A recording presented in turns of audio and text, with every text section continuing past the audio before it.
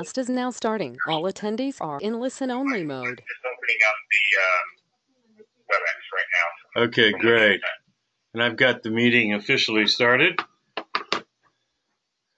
And so we'll get this going here. Um, just to kind of make sure John understands too, uh, Dr. Harrison is a cardiologist at Memorial of Tampa, and uh, recently we did a presentation to look at CT, um, so Cardiographe, revolution CT, etc. Um, and um, they'll be looking at something um, at at some point this year. I'm not exactly sure when, um, but uh, they are looking at an additional CT. Okay, great. John, are you you're on you could just use this phone call, right? Yeah, hold on. I my, my headphones. Okay, and we're gonna put uh, find the option where we can share the screen. So hang on here for a Yeah. minute. We're gonna find a share the screen option. So sharing. Hey, and John, while we're waiting, could you just kind of So introduce interesting. yourself so that they know kind of who you are as well? If that's possible. Okay. Um, I'm a principal engineer. I've been, uh, this is kind of my background. Uh, my PhD work was doing MR. I did uh, 17 years of echo.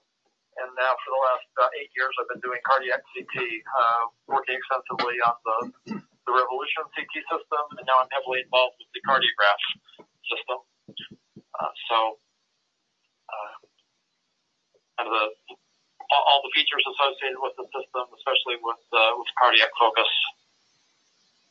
So uh, basically, uh, I'll introduce myself. I'm a uh, a cardiologist who uh, has uh, done just about everything you can do in cardiology. I've done 14,000 heart caths and angioplasty from the beginning of angioplasty.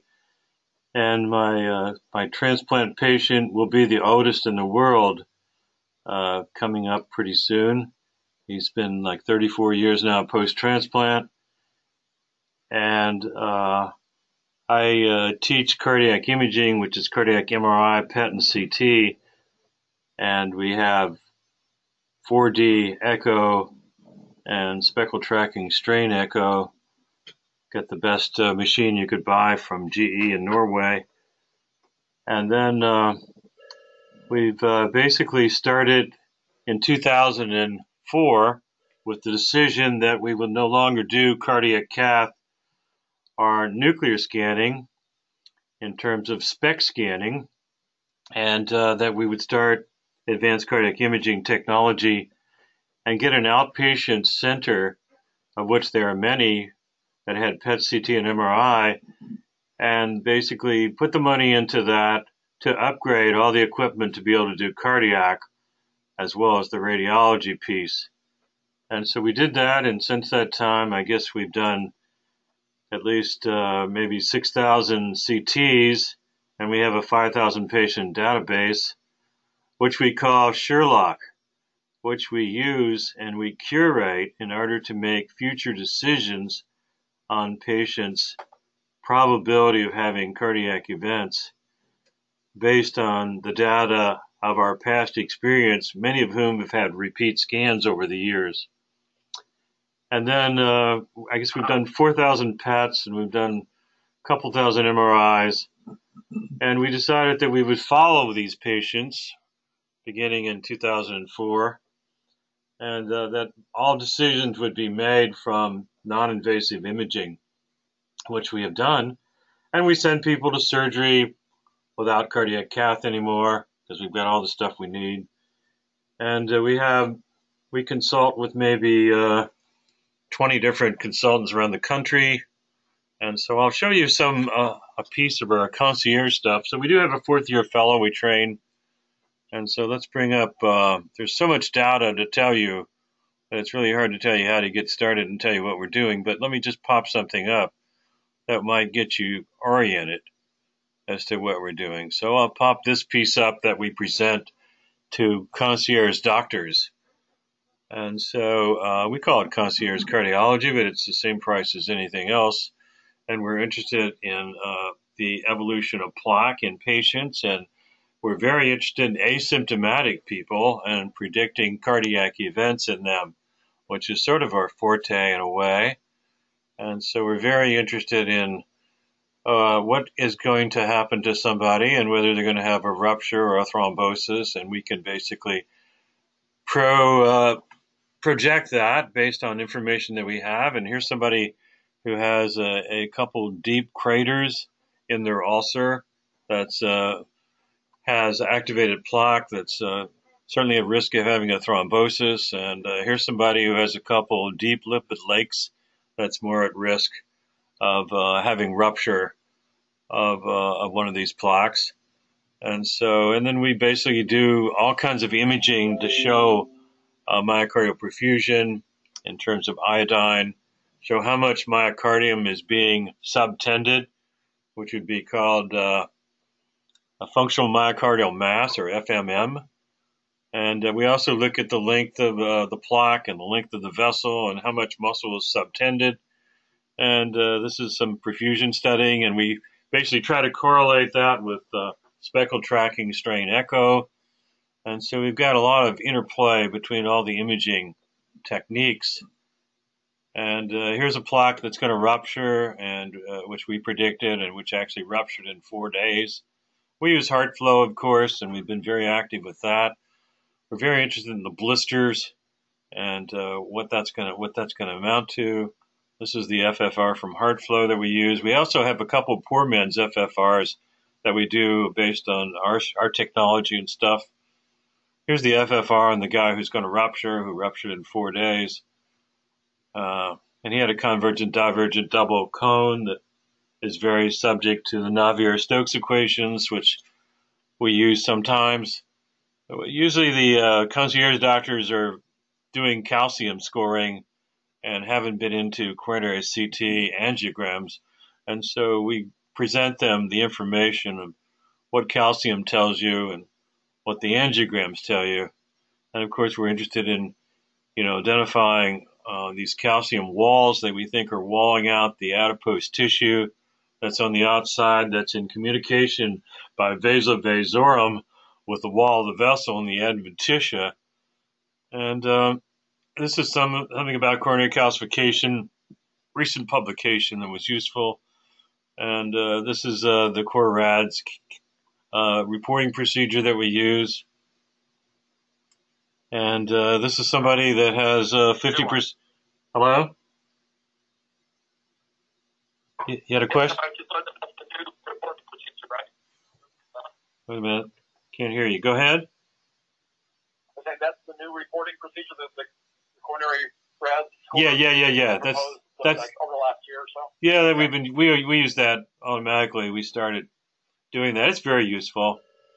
And so here's someone who has a, a, a significant lesion in the mid LAD, and mid LAD lesions are, are very nice because they, uh, and this particular lesion having just fibrosis is just going to actually occlude. And we have a group of patients to show you it occludes and it's got retrograde filling as well as antegrade filling. So there's no catastrophe. And so the mid LAD is a very friendly lesion. And so this is to show that it did occlude later on. And it's exactly what we suspected would happen and uh, the FFR that we use all the time. This is our little schematic that we use and uh, to look at a lifetime and to look at people in their decades and what their risk is based on inflammation, genes, lipid pool, arterial wall, microbiota, macrophages, and necrotic core, plaque ulcers, activated platelets, fibrofatty. Statins can accelerate calcification. Uh, and then after you get calcification, it could lead to what I call ossification, Calcification is actually turning a fibrofatty lesion that becomes fibrotic into calcified, and then ossification is where you add more calcium with hydroxyapatite, using that as a nidus to become uh, precipitate and become a acc- accretion of calcification. And then malignant calcinosis uh, is where you have a calcific stenosis or plaque erosion or fracture. And so and those are not so common and uh, and then this is uh, looking at trying to convince people that we don't think calcium scoring is a good idea, that it's more important to find out more about what's happening with these lipid lakes. And uh, this is our Sherlock personal plaque uh, analysis of low radiation CT, small database of patient outcomes to build a plaque analysis program coupled with uh, some of the biomarkers as Bayesian inferences for developing hypotheses as learning algorithms identify those at low, intermediate, high risk and prevent uh, heart attacks. And we have plaque share where actually people send me uh, their CT scans that have been read by radiologists, and then we overread in terms of cardiology to give them more information. And uh, if you have somebody who's a calcium score of 180, it could be any different prognosis depending upon, you know, what their calcium, what their lesions actually look like in terms of necrotic core, lipid lakes, convergent, divergent, double cones, and Navier-Stokes equation, activated platelets, fibrofatty plaque erosion. And so, so we can actually tell people where they actually lie, and that's pretty important to be able to do that. And of course, if you're have it, and we look at transcompositional coronary calcification as opposed to ossification, which are two different processes and uh, and we follow that out. And uh, calcium is really something that we think is a friendly thing because it's a biological cement and seems to wall off some of these vessels that were had a lot of lipid that were in trouble. Here you can see here's a four day, here's a 188 day, there's a 420 day plaque.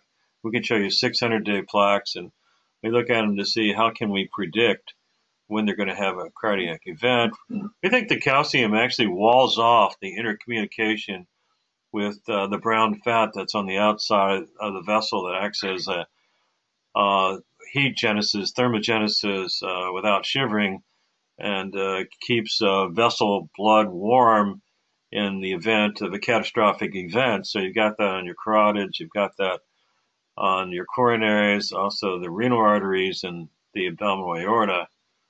This is showing you different kinds of calcification and how the calcification is pretty important, especially if it's got a trailing edge, because trailing edge calcification is incomplete, and that means that there's at least some fibrosis in there, and there may be some lipid as well. So we think there's a lot to be learned just by looking at calcium instead of just scoring it. Uh, and uh, this is the patient that, uh, if you did a calcium score on him, it would be seven but he has this big uh, dome-shaped necrotic core, and he's got a convergent divergent uh, half cone, and so this is a time bomb, and so we basically miss the whole thing if you're just going for coronary calcification, which a lot of the concierge doctors are doing. And here's an example of uh, someone who's going to rupture in 24 hours because we're going to do uh, his hip, and so we're going to expose his plaque ulcers uh, to uh, platelets that have been activated by bone powder from hip or knee surgery, which actually gets fibrin on both ends of it and then activates the platelet system. And so we're predicting this patient's going to have a heart attack within 24 hours of surgery.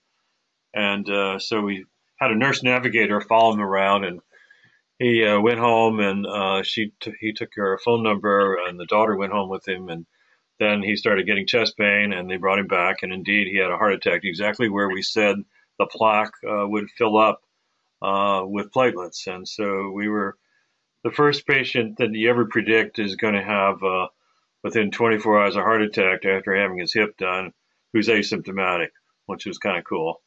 And so, and then it's pretty interesting, huh? And yeah. So, and so these are some of our other guys uh, that we followed. Here's a 600 day. Here's a 420 day. Here's a 188 day and uh, here's a four day, so it's kind of interesting. And then this is the the patient, uh, 80, 68 year old gentleman who basically we predicted was going to have a heart attack when he had his hip done. And of course, uh, Medicare isn't prepared to put stents into people, you know, who are asymptomatic, uh, because the stents are basically for an acute MI or for somebody who has uh, pain that can't be controlled by medications, unless you got like main left disease or something like that. And so this is where he was. Most of our Tampa people were over like this, benign coronary calcinosis. So he was very aberrant. And so uh, we knew he was going to be trouble. And so that's what it looked like. And the, the point is, again, the plaque ulcer uh, plus the activated platelets. And of course, you can't put a stent in, it's not going to work, and it's not going to be advocated, and it's not going to be paid for. And so, and here's a coronary stent just to show you a picture, and that's for changing lifestyle or for acute MI. And uh, here's uh, some of the recommendations that we make on people uh, that we're trying to alter the course of their plaque. And we can show you that with this kind of therapy, we were able to change a plaque uh, by 20%. So uh, that's a lot because usually in the literature, you see these studies where the plaque is gone from uh, some number to some other number, and there's a 0.08 chan- change. And uh, we're showing 20% changes, which is much more meaningful.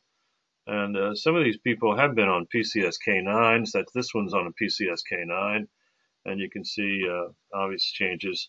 This is a group that we work with, uh, which is uh, sort of specialists around the country that help us in our decisions. So we're always looking for people that can cause less invasive damage and can basically get our patient out of the hospital and in a much shorter time and uh, can offer us uh, some uh, real help. And so uh, these are some experts around the country that are very helpful to us on a daily basis. And we actually do webinars with them and present uh, our patient and the patient sitting there with us. And we're all on video camera.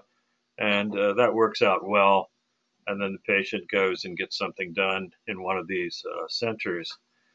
And these are our contracted partners with HCA, IBM Watson, HeartFlow, Vital Images, uh, MacDill Air Force Base, uh, and these are some of our education arms.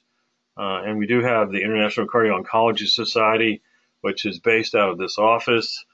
Uh, and we're having our global meeting that we had in London last year, Vancouver the year before, is going to be in Tampa this year. So we're excited about that.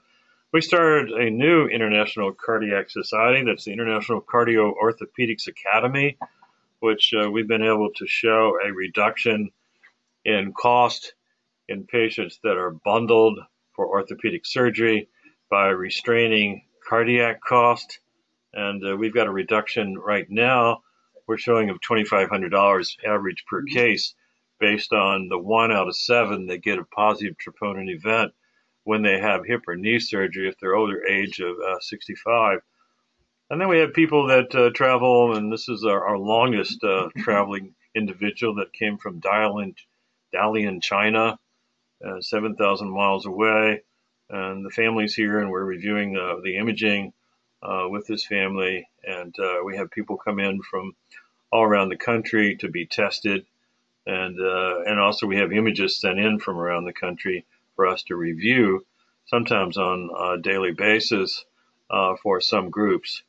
And so, so that's uh, kind of what we're doing, and uh, that's what we sort of call concierge cardiology. Uh, that uh, basically is not concierge prices. And so, this particular test, the cardiac CT, we uh, did a workflow and work study of a technician doing cardiac CT and found that the, they start the IV, it take about five minutes, 10 minutes for the test, and then 45 minutes post processing. And so we said, we'll just take out the post processing. If you give us a $199 price, and the hospital agreed to that, they said, just give us a, the disk or push the images over here, and we'll analyze the data set ourselves. So we have like $600,000 of hardware and software here for analyzing uh, data which we do on a daily basis because that's what we really like to do. And so that's sort of an overview of uh, of our position here. And then we can show you like we get images coming in from Indianapolis, uh, from one of your scanners there. As a matter of fact, Jim knows about that. And so we will show you what we see and how different those are from our Tampa patients because they are a lot different. And so, with that in mind, uh, we'll show you what we call regional coronopathy because coronary disease is different in different places.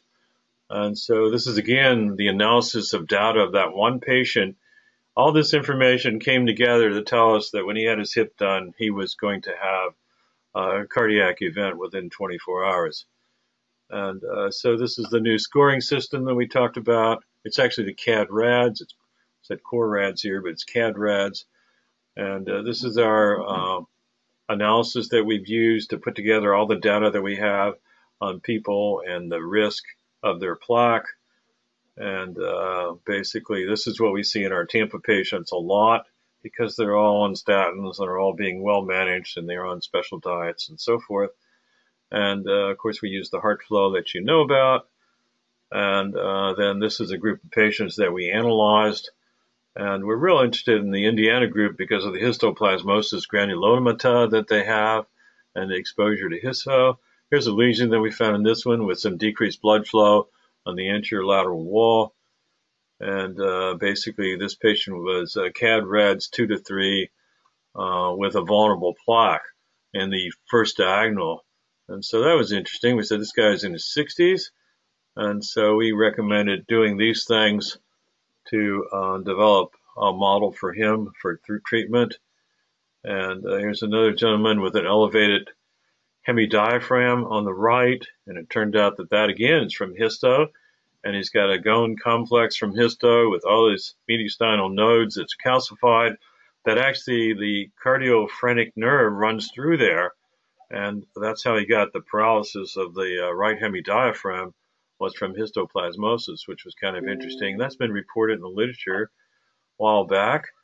And uh, then here's some decreased blood flow in the CT MPI, uh, which uh, basically has 58% ejection fraction. He's a CAD-RADS 3 with a vulnerable lesion. And so here's a guy in his 70s, you know, unlike the people in Tampa, a guy in his 70s who's very positive in terms of what's going on with him. And so I thought that was pretty interesting. And uh, here's this lesion. It's got this lesion in the PLA. That's a 65% mid-LAD lesion, 24% uh, necrotic core at the stenosis, 52% necrotic core in the plaque, and a convergent divergent double cone. And uh, here's somebody uh, with chronic pericarditis, and it's got pericardial calcium, which we think that's histoplasmosis as well which is interesting. He's also got an aneurysmic uh, of his ascending aorta that's uh, 46.7 millimeters, calcified pericardium. He has a normal MPI. This is scattered ditzels and doesn't mean anything. It's just noise. But he did have uh, some plaques that were interesting, and uh, they looked at the mono, myocardium at risk. We also looked at the left atrium, and the left atrium had significant left atrial enlargement and uh, if he had myocardial regurgitation, balancing out uh, his cardiac output from right ventricle and left ventricle and subtracting him, his myocardial regurgitation, mitral regurgitation would be 24% with reduced LA contractility because we did an ejection fraction of it. So we think he's going to have uh, atrial fibrillation and he's at risk of that and suggested doing a recording of his heart rate. And we were truly, we were right. And he did have atrial fibrillation and developed that. And so just reading off his CT, we were able to come to that conclusion. And uh, he's over here, you know, a risk of acute coronary insufficiency is high, risk of atrial fibrillation is high, risk of acute coronary insufficiency is low uh, because he didn't have much going on there. And so we made some recommendations. There's somebody where they actually did the calcium score and they scored the mitral annulus as part of the coronary calcification, which is not a very good idea. And uh, here we found LAD 59% diameter, convergent divergent double cone, 43% necrotic core at the stenosis, 31% necrotic core of the plaque, normal blood flow by CT MPI, and uh, no regional wall motion abnormalities. But he's over here too. So Indianapolis really has a lot of people that are wandering around. They got some problems with them. And here's our Tampa, here's our Indianapolis. And so we're really interested in what's going on and why that is. And we wonder if there's some uh, relationship for the coronary calcification with histoplasmosis because is, they are really in the histozone. Turns out the histozone, diabetes, fungus, coronary artery disease, all these overlap, which is very interesting. And uh, so we have older patients with heavy calcification with vulnerable plaque is very unusual. They're in the 84th percentile in terms of their coronary calcification. The expected was 50, so there may be some bias in terms of the selection of patients that were sent to me. But uh, we were then wondering about coronary calcification, histoplasmosis being a link, and maybe coronary calcification isn't really a valid in this group of patients. And so that's uh, that's some of our ideas there. And so we've got you know tons and tons of data that we've collected over these years on these 5,000 patients, and we're doing like 10 patients a day, so we're having pretty high volume. And so it's really interesting. So we would really like to work with the uh, the Cardiographe uh, team because we think that would be very interesting and certainly apply some of the things that we know. Here's some of the things that we frequently show in engineers that are interested. Uh, this is our Smart Dog production. That's our own video media production uh, production company. And uh, that's Beaumont, our therapy dog in the office that uh, Jim probably knows.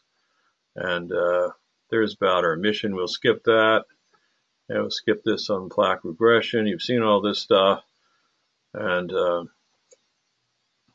and we've made three presentations to Watson and working on uh, several projects with them. Here's our hierarchy of big data we think is really important. And we're going to put this in place in the future. And then uh, we're a project cardiac advisor with IBM.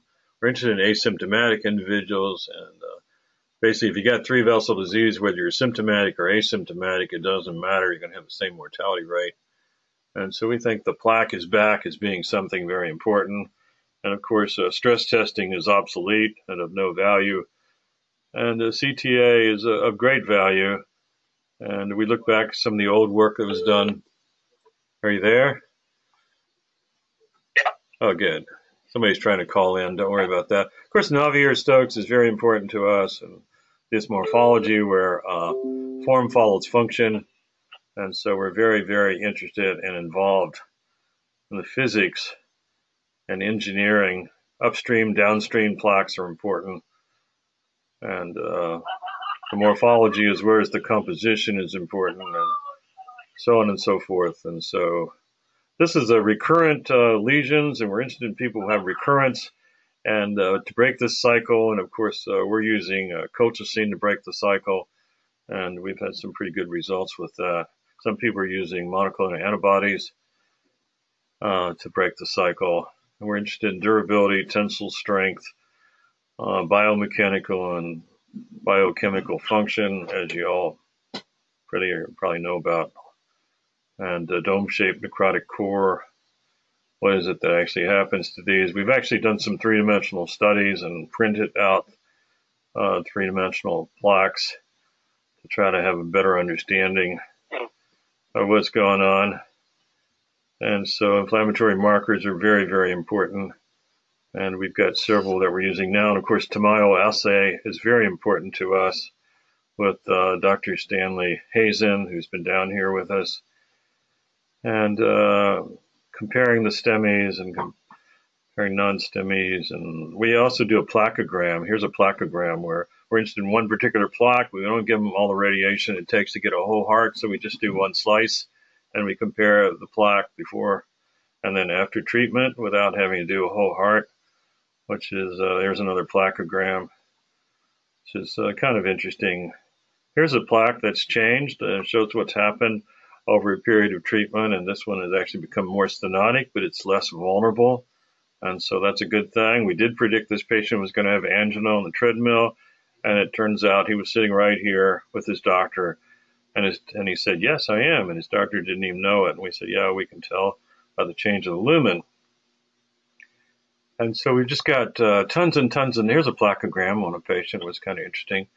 On We actually did this one because there was an artifact in the left anterior descending and we couldn't read it. And so we're not sure what caused the artifact. There was some motion. It didn't look like it was heart rate related. And so we said, let's just pull I'll, I'll do another shot and just get that piece. So the radiation will be one fifth of the amount of radiation because it would take five slices to make this heart. So let's just we'll do one fifth the radiation, repeat that, and then we can fill in the piece. And so that's what we did. And so we do as much uh, creative stuff. Here's a plaque that actually the patient got developed this between this time and developed angina. And so by finding this, we treated him very aggressive medically and he didn't rupture, and so that was a good thing. But it does explain why he showed up in the ER with chest pain, uh, and uh, basically everything was normal, and they were going to send him home and say, "Oh, you're fine," but he's not fine. He's got this new uh, plaque there that's got a very solid lipid core that looks pretty dangerous, and uh, so on and so forth. You can just see a bunch of the comparison of stuff we've done, and uh, just millions and millions of images on folks. And so that's just to give you an idea, an overview. Then we're interested in the microcalcification that act as nidai to produce calcification 10 years later, and you wonder where it came from. And there's just little, it's not because there was sealing over lipid core, it's because there was already a deposit of calcium in the wall that we couldn't see. And that calcium in the wall then multiplies, and there's an accretion of hydroxyapatite and gets bigger when they come back, but it doesn't mean they've had active plaque. And so here's somebody with tiny focal calcifications, the origin of the LAD, and so forth. And uh, calcium begets calcium, and this is the way it looked uh, 10 years later. And so, but there's still, there's never been in this patient any lipid lesions that this is sealing over.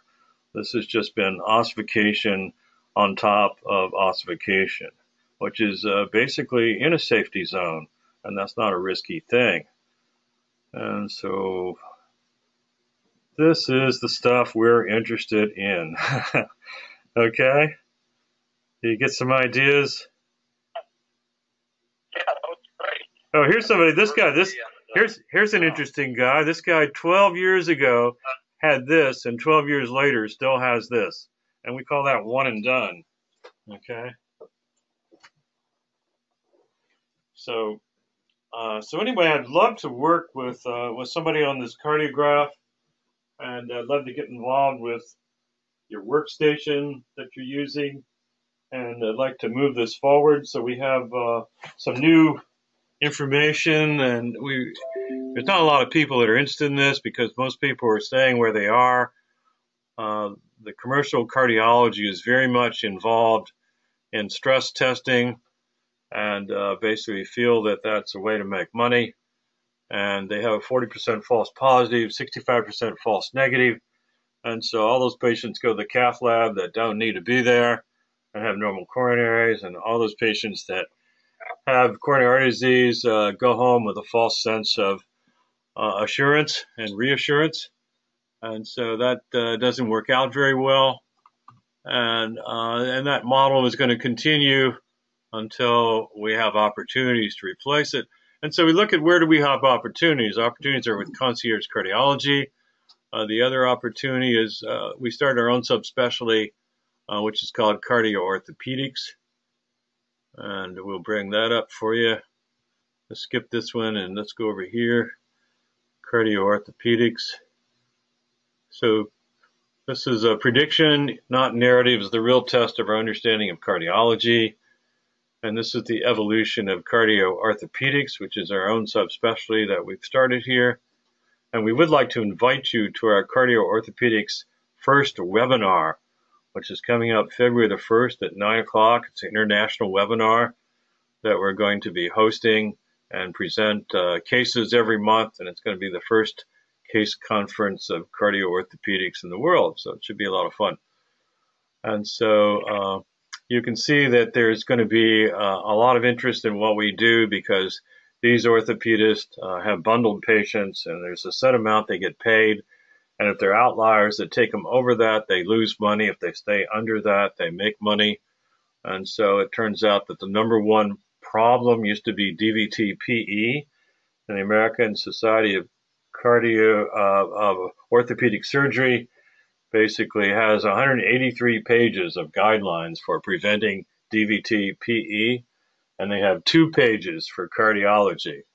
Well, cardiology is the number one cause of serious complications today, so obviously they haven't caught up.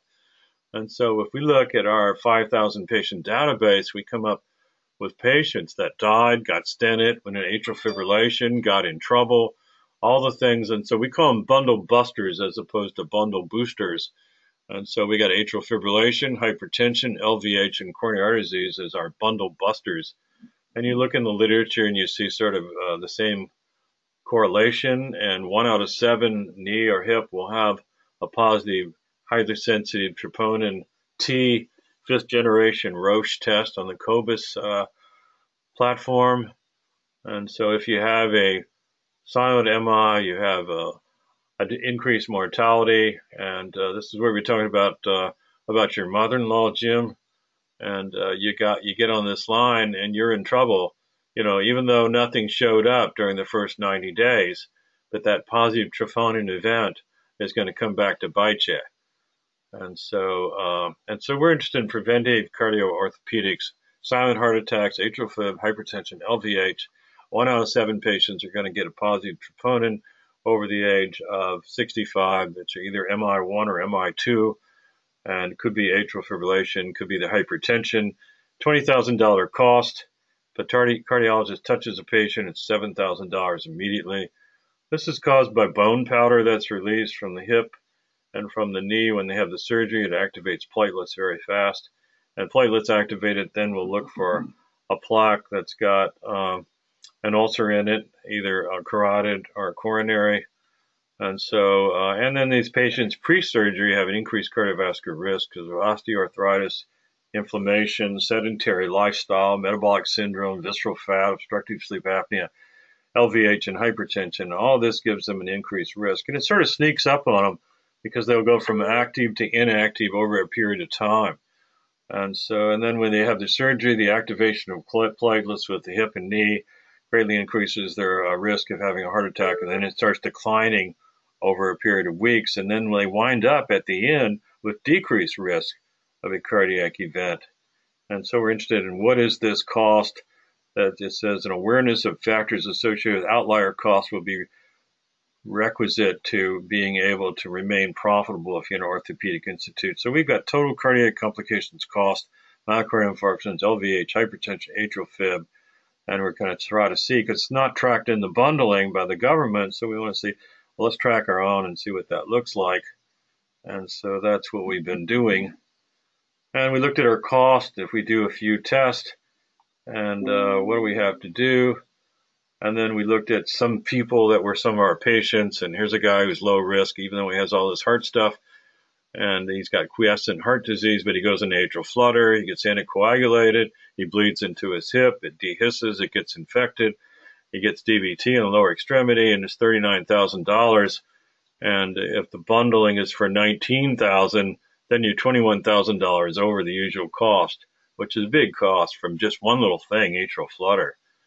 And so we feel that uh, basically, one, we can prevent it with anticoagulation if we can prognosticate who's going to have that.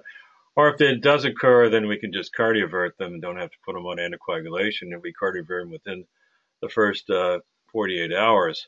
So we have a medication we use ranolazine and dronedarone as a combination has 60% chance of preventing atrial fibrillation over a period of a year. So we ought to be able to do it for five days because that's all we need to do. And now here's our patient that we saw that uh, basically has atrial fib.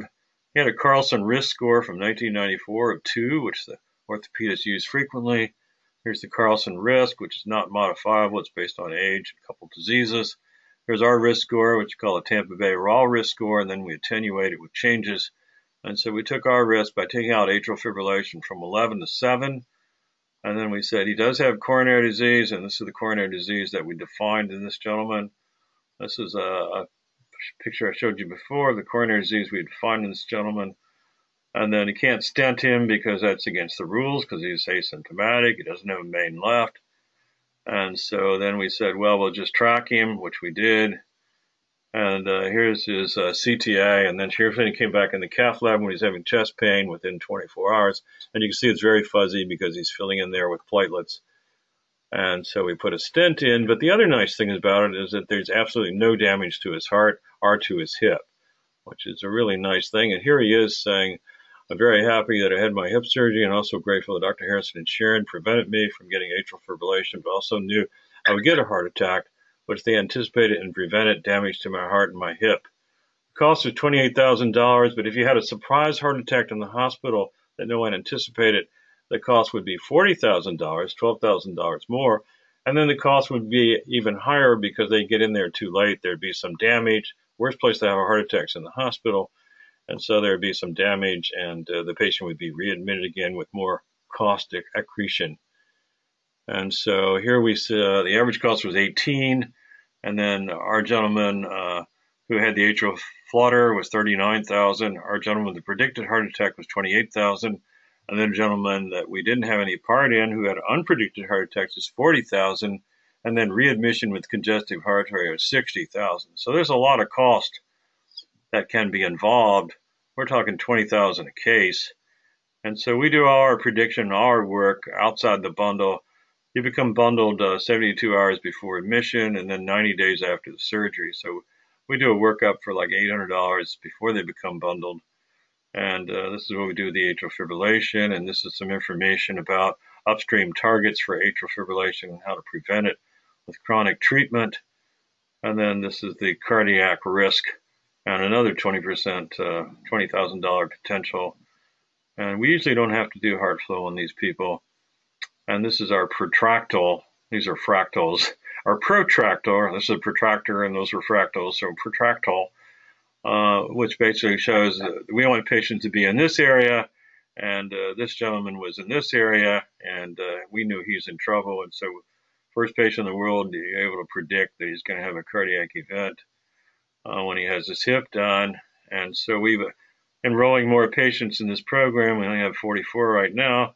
This is the information that we collect right now. We're going to add troponin BNP, and uh, this is our one of our treatment algorithms. And uh, the yellow is what we changed. The green shows stability of coronary disease. Uh, the reddish kind of color. Magenta shows LVH. Purple shows hypertension. The red shows PAF or CAF, either paroxysmal atrial fibrillation or chronic atrial fibrillation. What's amazing is to go through here and see all this information that we've crowded into uh, one day of like testing that only took like an hour and a half, two hours, you know, when they come in and get evaluated and yet we're able to make all of this information and actually make all these changes severe uncontrolled hypertension titrated blood pressure atrial fib chronic without rate control turn off the icd hepatology clearance somebody uh, who uh, new, newly discovered hypertension again stopped Coumadin the guy didn't need it uh, prevented atrial fibrillation. So you look and see all the stuff: inhaled bronchodilator, skid out sedation, newly discovered hypertension, you know, false positive EKG for a heart attack, and uh, so on and so forth. And uh, lateral wall ischemia, even after he got stented because he had a CTO, nobody saw. And so these are the things uh, that we're involved in and uh, very appreciated by the orthopedist that we're uh, going to expand the program. Of course, hypertension and total joint arthroplasty uh, has been written up, and these are some of my published colleagues. I'm a deputy editor of a published medical journal called Onc Review. And so I'm very active with those folks. And this is our current calculations on 100 patients with $800 we spend a case, $80,000 prior to bundling, 12 patients with atrial fib that will be prevented, 12 patients with hypertension LVH that will get in a hypertensive crisis or have some problem or positive troponin event, two or three with congestive heart failure readmission, so we calculate about $660,000 that we would save over 100 cases, which is $6,600 a case on a $19,000, $18,000 payment. And so we're thinking the conservative assumption would be, say, $2,500 a case, which puts us up here, which is pretty good still on an, if you got an $18,000 uh, bundle. And so we're looking at the CT, and actually we didn't find a lot of coronary disease, which is surprising, but it's a bias. It's just a small group of cases, and so we'll expand the cases and see.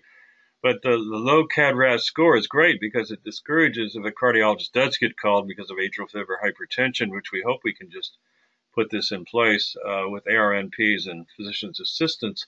But if they do get called for a cardiology consult, which is very expensive, we can decrease the expense because – if they have no significant coronary disease, there's no reason to do a nuclear test or a cath. So, so we really cut down on that seven thousand dollar uh, cost of a cardiologist touching a patient. That information was given to me by Fred uh, Cohen, who uh, runs a couple billion dollar investment for David Bonderman for TPG Biotech in San Francisco. And so the market knows exactly what's going on and making their market decisions. So right now our next steps are implement uh, cardio biomarkers pre-op, which will be very interesting. We're setting that up right now and recruit the rest of late adopters of Florida Orthopedic Institute. It's the largest private practice in the state of Florida for orthopedists. So we should be able to get some good numbers. And then begin, which we'll invite you to, our uh, cardio orthopedics case webinar February 1st at 9 a.m. And so that's uh, that's cardio orthopedics, cardio oncology. And so the reason we went to this is uh, we found that uh, it took 17 years for 60% of doctors to uh, adopt giving an aspirin with a heart attack. And so 17 years, 60%. And so we said, why did it take that long? Well, the retirement rate is about 6% per year. So we had to wait for all those doctors to retire and get all new doctors in place before we would give an aspirin with a heart attack. And so it turns out that uh, we only got a 60% compliance even after we replaced all the doctors. So we thought about that and decided, well, we replaced the wrong doctors. We should have replaced the instructors. And so it turned out that the instructors have a retirement, disability, whatever rate, you know, about three to four percent per year. So you got to wait longer for them to retire. So that's why we got a 60% compliance rate. So we said, okay, how can we avoid all this? And we started with cardio oncology, and we said we just got to put in all the universities. Therefore, we replaced all the instructors. So we took cardio oncology, and in seven years, got in every university in the country, and many, many universities outside the country. And our last meeting in Vancouver, we had uh, we run this program out of this office. The last meeting in Vancouver was we had 330 doctors from 30 countries, and so we said, hey, well, now we're experienced. We know how to do this. Uh, we've got a new revolution, and we got something new that we need to change, and that's called cardio orthopedics. So we're going to do the same thing, and we know we'll be successful because we do the cardio oncology. We've got the same model, and so there we go. So we're starting with the conference, the international conference. We've got our Polish friends uh, on board, and we'll have others. And so we started, started exactly the same way we did cardio oncology. So we're going to see a lot of coronary CT in use, and we're trying to find the least line of resistance. You know, we tried SOCOM, we, found, we tried police departments, fire departments, we tried many, many different avenues. Cardiologists don't want it, they won't change. And so agencies don't want it the first thing you do when you go see a policeman, which they have high incidence of coronary disease, is the police chief will want the test, and then he won't want it for his people because it's too confusing for them. Nobody wants to know if they have heart disease because they're afraid to know. People don't want to lose their jobs. Other people don't want the, the guys to go on disability. And so it's just such a mess for them. So only the police chief wants to know if he's going to die in office and how he's going to do. And that's about it. But we always get the top of whatever agency go to. The top's always always comes in and wants a test. So there we go. That's where we are. I like the idea of Cardiographe. I think there's a great opportunity. Uh, I think that if we can convert that into giving more information about asymptomatic patients and predict heart attacks like we're doing here on a daily basis, I think that would be extremely useful. And so uh, that's sort of what I am. Now we have talked to artificial intelligence uh, companies, and of course we're partnered with Watson, and it's really hard to get on their timetable to want to do 20,000 CT scans a day with artificial intelligence to pick out the uh, viable um, and the uh, vulnerable plaques. And so uh, that's a very, very difficult challenge for a company that seems to be very heavy on marketing, but not uh, very heavy on science at this point. Comments? Certainly think uh, Cardiographe is a great little system. It's got all the uh, all the resolution, everything of the of the bigger revolution CT systems. It gives you your whole heart in one shot. It's quick and easy to use, and uh, you know fits in a small space and uh, could be could be a great uh, system for you to have a few of. It sounds like with your volumes. Yeah. So so so, so how can we how can we go? How, excuse me. How can we go about sort of partnering together to try to bet, develop better technology and wider spread use of this? That's what I'm interested in, is putting this out front.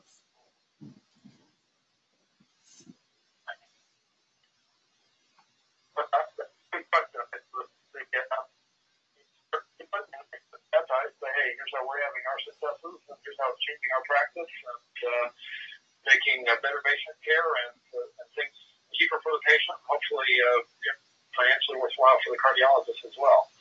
So it should be a, a win all the way around. I guess start by by using it and, and showing success. Um, Yeah, so we're more interested in like doing a partnership with GE to try to develop this as being a mainstream approach to cardiology.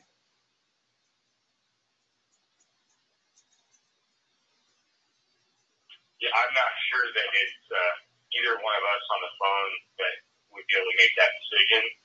Um, But can you can you uh, um, can you direct us to people that would be interested in moving forward with a model like this? Because we actually and actually moving into eventually artificial intelligence, because that's what we need to be able to do 50, 20,000 a day. Yeah, I, I think I, I'm not sure at this point who who that would be. Um, there's there's a number of people and a number of divisions within healthcare. I would have to think about uh, figuring out how to navigate who that would be to to have you have a conversation with. Because I don't know that off the top of my head.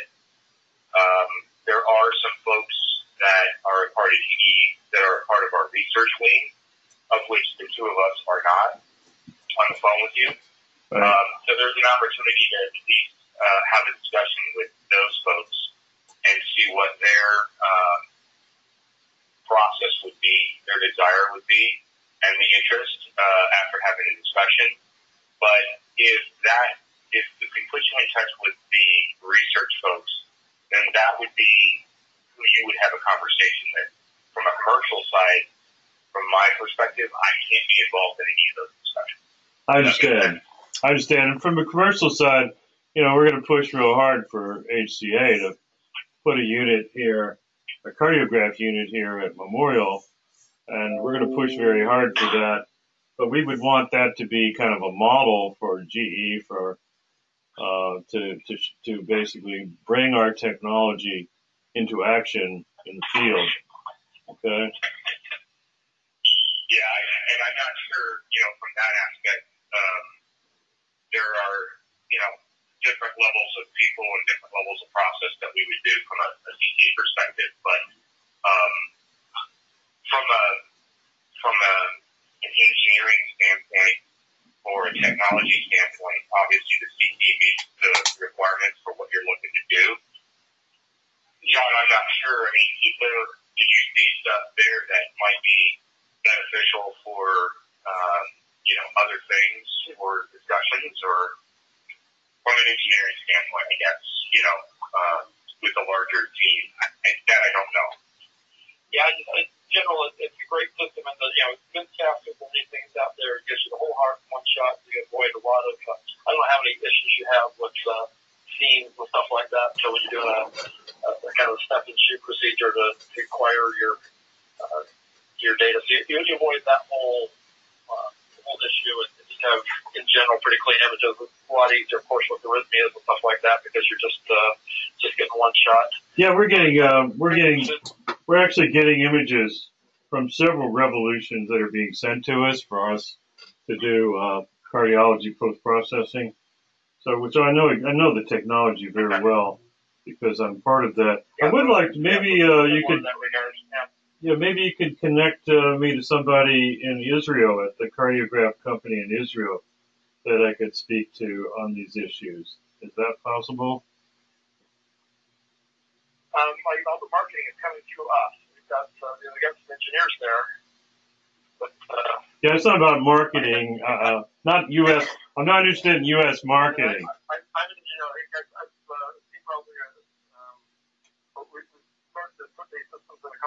now, and uh, you know, I think they, some people have gone digital to take a look at the machine, but now we've got a couple clinical sites that are just starting to be up and running, um, and we're talking about uh, you know those.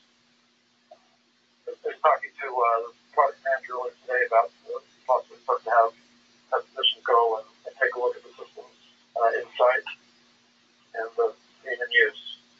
So any of those things are, are possible.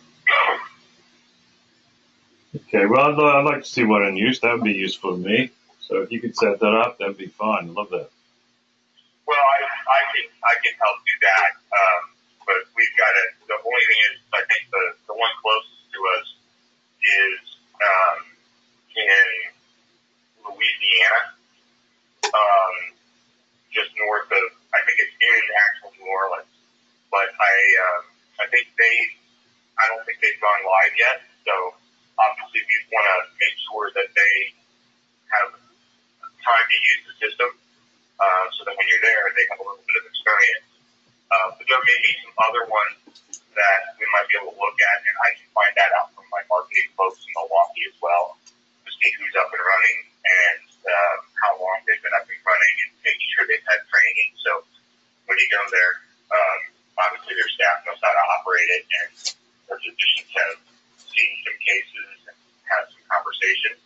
I will say that I don't know out of the systems that have been sold so far because they're not in my territory. I don't believe any of them uh, involve cardiologists. I could be wrong, but I, I don't know. Uh, John, I don't know if you know that or not.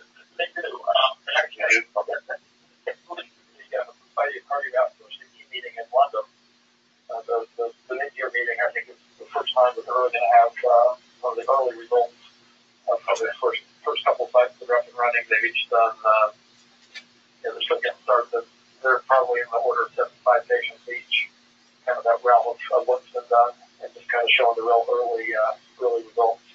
And those are cardiologists. That's cardiologists involved in the imaging with the system. Yeah, and local cardiologists that are, that are running those systems. Okay, beautiful. Okay, yeah, That's awesome. Okay, well, that sounds good. So is there anybody you could introduce me to uh, in the Israeli group? What I'll do is I'll make some phone calls here beginning of the week, uh, to some marketing folks about the facilities that are up and running, um, and kind of timing on, you know, when we need to visit one, and then I would set that up, um, and we would just have to pick a date and fly out and do all that stuff. But um, in the meantime, I'll uh, I'll figure out who I can advocate with that might want to have a discussion with you from a, a research standpoint. Um, I don't control that, and they make their decisions based on you know what they need, what they don't need, that kind of stuff, plus conversations with clients. So um, I can get that process at least introduce you to somebody um, to see whether or not the research side of things have an appetite to do anything.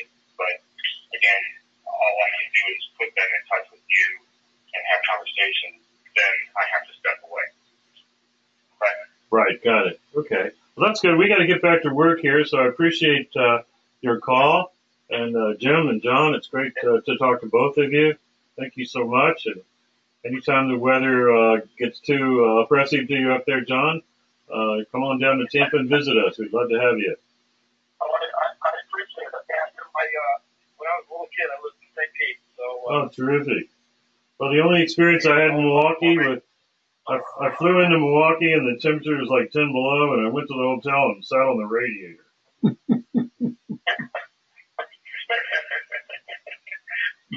I used to live there for eight years. I, now you know why I live down here. I know why you live down here. Well, thank you so much, guys. I hope you have a great weekend. thank you too. Appreciate it. Talk- Talking. Talk to you later. Bye bye. They were casting pearls among swine. Swines, yes. You know, it's a waste of time. It's always a waste of time. They just want to sell stuff. Yeah. So let's go back and get our work done. You can hit the road if you want. Yeah, I think I will. Uh, it's always much to do about nothing. Yeah. Yeah,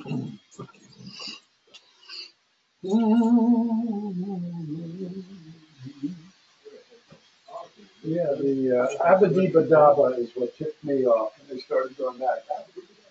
Yeah, they start with a and, you know, I know technology. I don't care about the places and all that crap. Yeah, it's terrible.